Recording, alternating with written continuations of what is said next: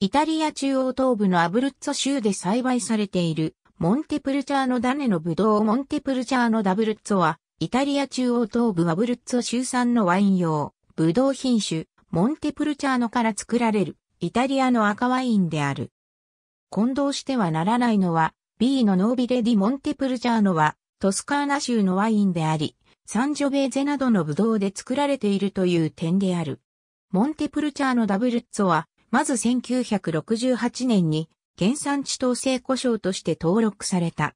海区分にあたるコッリーネ・テラマーネは、テーラモ県の DOC として1995年に設けられたが、2003年に独立した保証不原産地統制故障へ昇格し、現在はコッリーネ・テラマーネ・モンテプルチャーのダブルツォーの名で知られている。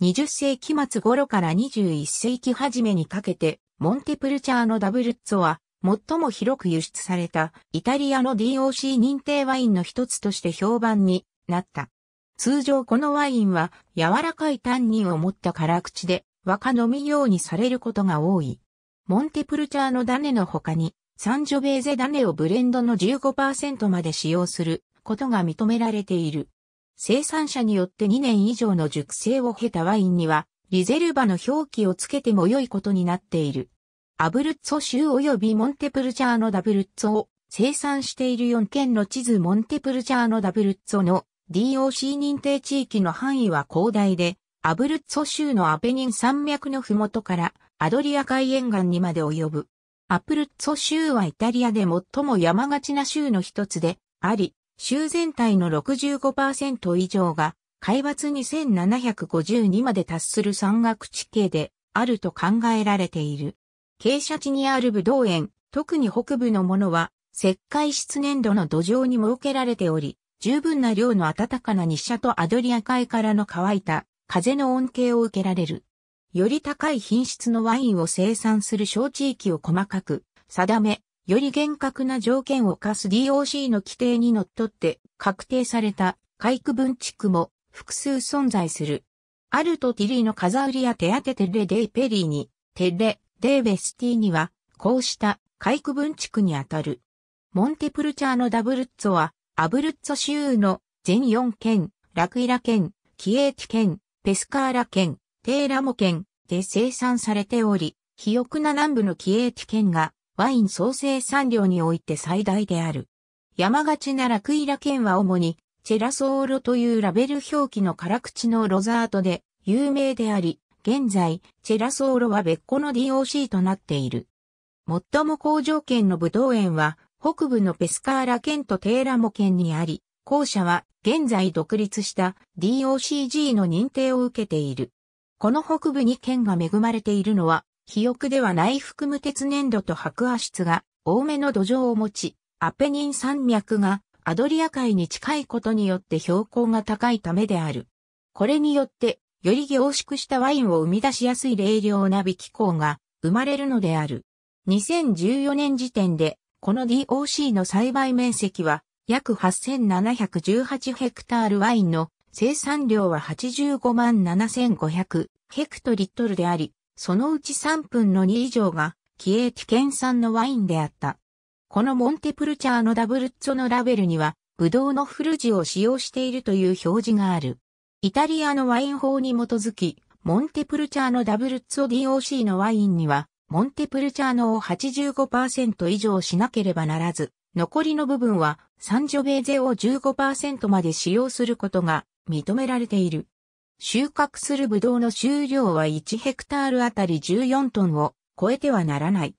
ワインは出荷するまでに最低5ヶ月は熟成させなければならず、リゼルバのラベル表記があるボトルの場合、キダル内で9ヶ月以上、その期間も合わせて計2年以上の熟成が必要となる。さらに、アルコール度数は12%以上、リゼルバの場合は12.5%以上なければいけない。この DOC の海区分地区の認定条件は、モンテプルチャーノの比率や最低アルコール度数はより高く、収量は少なく、熟成期間は長くなるなど、さらに厳格になる。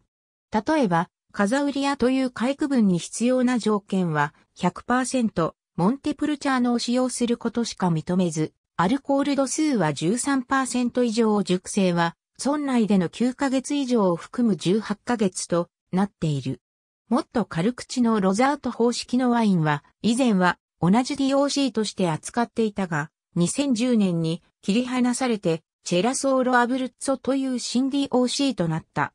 モンテプルチャーノダブルッツォの DOC 認定地域内には、コディーネ・テラマーネというテーラモ県で生産される DOCG があり、テーラモ及びその周辺の30のコムーネにブドウ園がある。当初は DOC として1995年に認定を受け、2003年に DOCG の地位に昇格した。このワインの企画は、モンテプルチャーノダブルッツォと似通っているが、モンテプルチャーノを90%以上使用することが必要で、サンジョベーゼの使用は最大10%まで認められている点が異なる。モンテプルチャーノダブルッツォは食事とともに供されることが多い。ワイン専門家のオズクラークによると、モンテプルチャーノダブルッツォは胡椒などスパイスの特徴を持つ色調の濃いワインであることが多いという。